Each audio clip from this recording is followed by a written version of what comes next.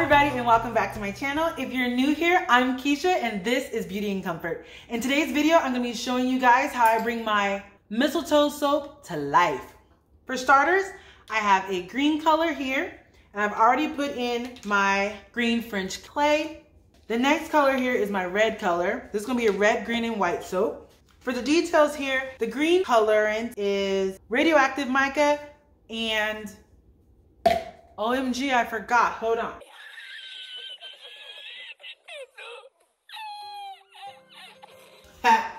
This is radioactive in 3 olive martini mica from Mad Micas. And then I added the French green clay. This container here, I have my rose kaolin clay and the red kit from Mad Micas. And I also threw in a little bit of another red color, which is this one. This is Ruby Red Mica, and this is from Southwest Candle Supply because I wanted this to have a deeper, not a true fire engine red color, but almost like a berry because I'm going for mistletoe holly kind of vibe. So I kind of was going in that route.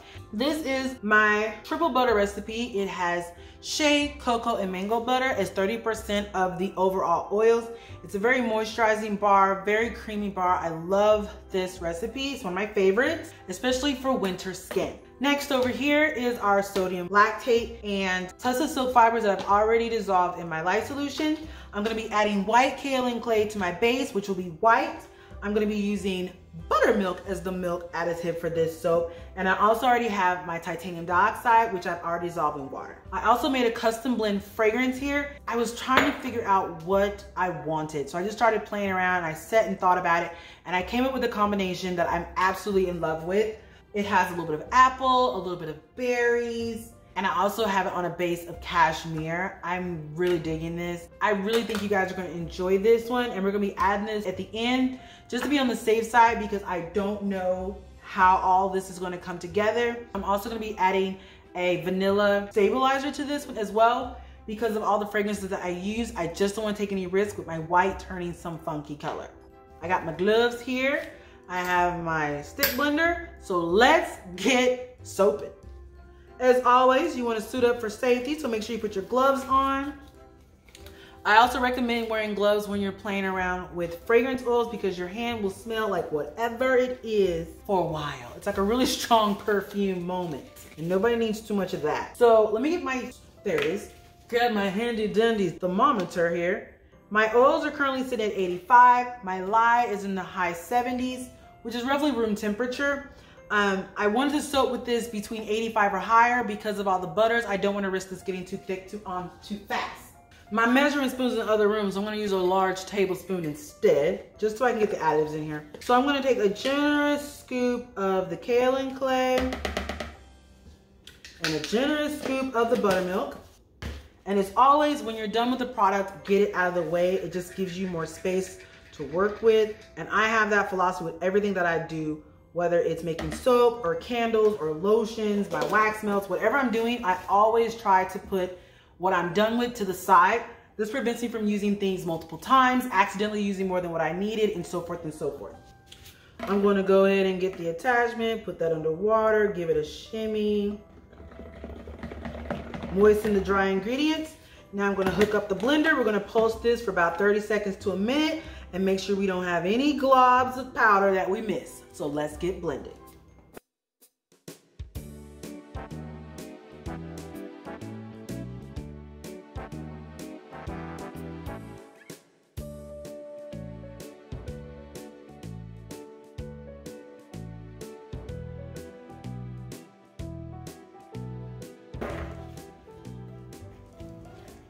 Scrape the sides and the bottom to make sure we don't have any dry powder lingering and pingering here.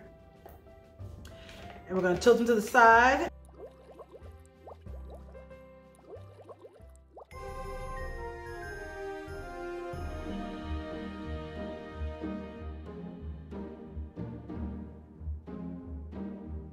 So we're gonna give a swirl, burp the baby, tilt them to the side. Now gonna get our lye solution. As I stated earlier, this already has my sodium lactate and my Tussah silk fibers in it. All right, and I'm just gonna pulse this on low as I pour in my lye solution. Get every last drop in there. Swirl. Now, I'm gonna blend this on low, blend and stir in this until we reach emulsification. As I said, this is a custom blended fragrance that I'm gonna use today, so I'm not really sure how this is gonna react as far as acceleration. I know how each fragrance works independently, but I'm not sure how they're gonna work as a group. So just to be on the safe side, we're just gonna get to emulsion.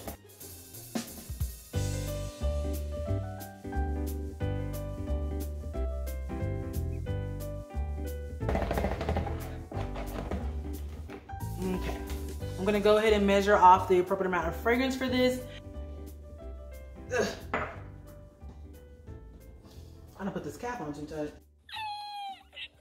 Since I don't want to mess up another jar to pour this in, I'm gonna get my scale, put your batter on, tare it out, and then pour in the appropriate amount of fragrance.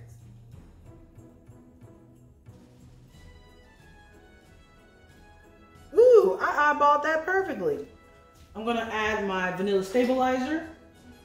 And the vanilla stabilizer that I'm gonna be using, this is called Vanilla White Color Stabilizer, and I get this one from Nature's Garden.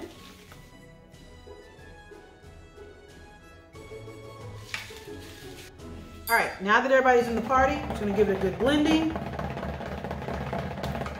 Mixing it with my attachment, I'm gonna give this a blitz on low for just a few seconds to make sure my fragrance is in.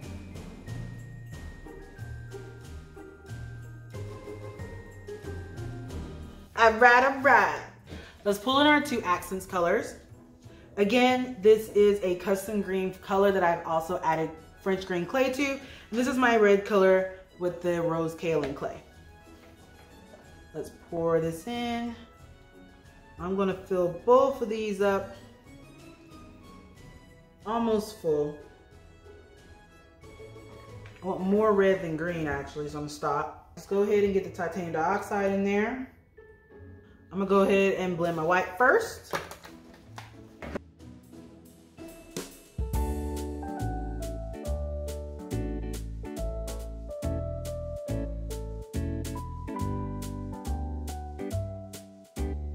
He's looking good, looking good. Go ahead and scrape this down. And it's important, even when you're doing white, to really scrape down the sides because the uncolored batter could be a yellow color, it could be an off-white or whatever. And you really don't want to deal with multi-tones. So always scrape it down. The red swap places. I'm just gonna swirl this first and see what I get. Ooh, that's looking gorgeous. Don't tell me I don't know how to plan. now to dunk it into the red. This is not a true fire engine red color, but it's definitely beautiful. Now that all our colors are ready, steady, let's get pouring. We're gonna start by wiping up this mess here. We don't want anybody knowing my truth here. And zoom you guys in. All right, now that we're all close and personal, I'm gonna be doing a drop swirl with a hanger swirl. It's always best to pre-measure your hanger when it's a flexible hanger tool like this because it just makes it much easier, trust me. Now that we know he fits, set him over here to the side, pour in our white. Uh-oh, that is settling fast. I'm gonna wipe this off so I don't transfer any red in here and have pink instead. All right, now that I've loosened up the white, let's pour it in till almost full. Let's turn it this way, make it easier for everybody. Get that in there. I'm gonna leave some batter there. Now I might need to get another tool because this is thickening on me, which is like I said, this is something that you're gonna run into if you're doing custom fragrances because you don't really know how each component will affect the other. Be prepared. Yeah, be prepared. Yeah, we'll be prepared. For what? For anything. I'm trying to get this as loose as possible using my spatula. And if you run into a situation like this where you're noticing that your batter is thickening, you can take a whisk or a spatula and just give it a nice swirly dirly and you should be good to go. I'm gonna dump this from high up. Get my hanger tool and I'm gonna press it down and I'm gonna bring it up, swirl it, swirl it, swirl it, clean it off, put them on my paper towel. Ooh, she's getting messy. Now we're gonna come back in with some more white. A little here and a little there. Get my red, same deal. And the green. So I was able to do two passes. If this was thinner, I probably could have got away with more, but this is gonna be fine. Okay, now I'm gonna give it a nice little tamp. Go back on my hanger tool, go halfway, swirly, swirly, swirly. There we go. Obviously don't want to swirl this too much. We don't want to muddle anything. But the thing I've learned with swirling is when you think you've done too much, you probably just did enough. And I have a spoon, so let's just go ahead and rake everybody over, just like this.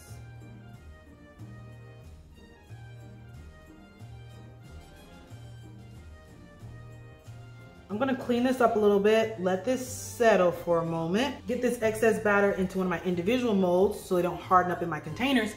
I'll be right back.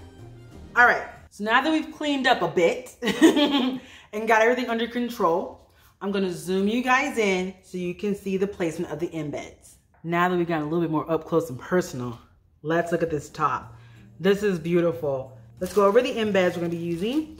So I have some circle, some gumdrop embeds that I slice in half and I'm gonna place these along the edges. I have these little beautiful gold ones that I sliced into slices to kind of give it some kind of variety for just this three color tone. To get our glitter on, I'm gonna be using my handy dandy paintbrush and I wanna layer the glitter. So I'm gonna start by putting the glitter on first. So it can kind of get into all those crevices. If I can open it. All right, so I'm gonna start with the green, green, green glitter first. Just a nice little spritzly spritzing. Nothing too major. I don't want this to be glitter-tastic. I just kind of want to highlight the high points, the waves and ridges that I put on with the spoon texturing. Okay. And what's left on here, I'm just gonna spricky dicky dicky dicky right on off. And then I'm gonna get the red going, do the same thing. Just sort of get him in there, right into this little part, most importantly. I'm turn it this way. So flicking from an angle here. And I'm gonna turn around, do the same thing on this side.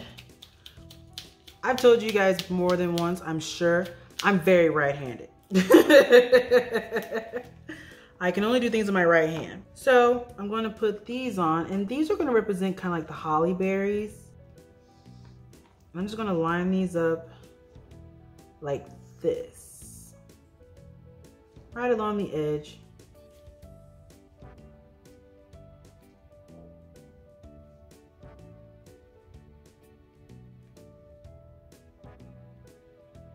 As always, I'm struggling with using gloves. Who would have thought it again? And by pressing this in just enough, I'll be able to sort of mound this section here, which I want to do. Now I'm gonna come in here and get my hollies. Plastic. And I'm going to just sort of squeeze these right on in, like so. And again, I've grabbed a mold that does not have any markings. What is up with that? Now I did make a variety of these because I wanted to see like what would work best to be honest. Some of my hollies have all green and then some of them I was able to, with the best of my intentions, get the red in there. But it didn't work all the time. That's why I went with the red gumballs to kind of give you that holly berry vibe and still have the leaves, you know? I tried dusting the green ones with a little bit of the mica, thinking maybe that'll help me out, but it didn't. Two, three, four, seven, eight. I'm short here, but do not worry. I have some smaller ones that I'm gonna like stick in here. And I'm gonna take these gold pieces and I'm just gonna stick these in here at random. Some of you will get the gold, some of you won't. This is just for a little bit of color other than, you know, like I said, the three colors that we were working with here. So I'm focusing on is trying to make sure that if you don't get one thing, you'll get something. Everybody gonna get something. I'm not gonna overload this. So I'm gonna go ahead and stop. I'm gonna grab some more glitter and I'm just gonna lightly sprinkle this on. So you can kind of hit the embeds just a little bit. The thing about glitter that you always have to remember is this is gonna wash off. Um, some of it's gonna drop off. It's okay, it's okay. And the further away you are when you tap it, the more or less you're gonna have on there. So that's a really cool thing about glitter. You can kind of play around with it even though you don't have full control. I'm trying to fight the urge of adding more. I think that looks gorgeous, yes. So here we are. Isn't that pretty? You got a little bit of this and a little bit of that. And of course you have all these little large holly berries going on.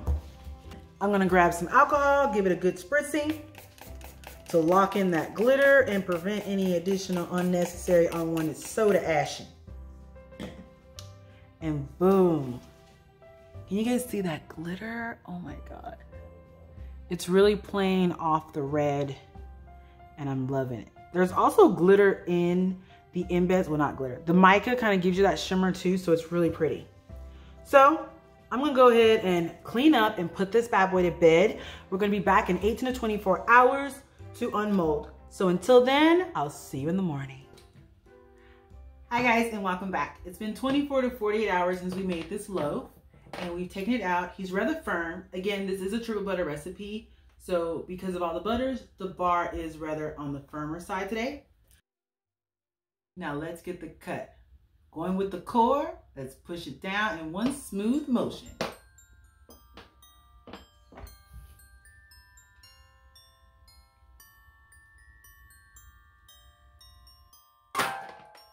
All right. That's a thick one. Now let's remove the end piece and see what we look like on the inside.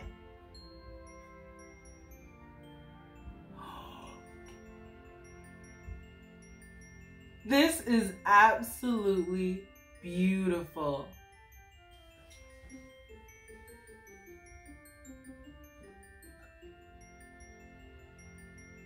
They look amazing and they smell absolutely dreamy.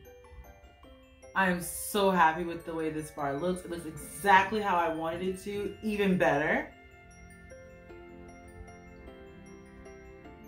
This is beautiful. That's beautiful. That is beautiful. Did a great job, sweet. Thank you.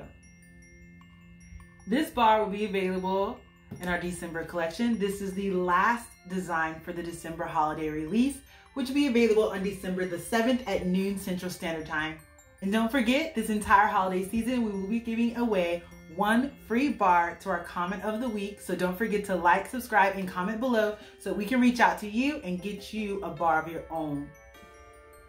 And by the way, you can check in the description bar below.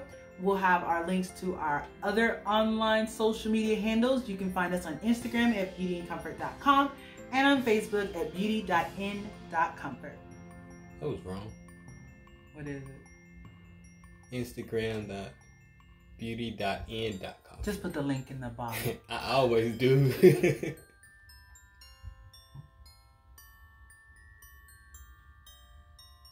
All right, we want to thank you guys for watching, and we see y'all later. Bye. That's Christine. My bad. she ready to get up out of here. All right, so put your last bar back up so I can put the outro. Thank you so much for watching, guys. I hope you enjoyed this video. I hope you found inspiration in this design. And again, if you're interested in picking up any of the bars in the holiday collection, don't forget to stop at beautyandcomfort.com. Thank you so much for watching, and I'll see you in the next one. Bye. This is beautiful.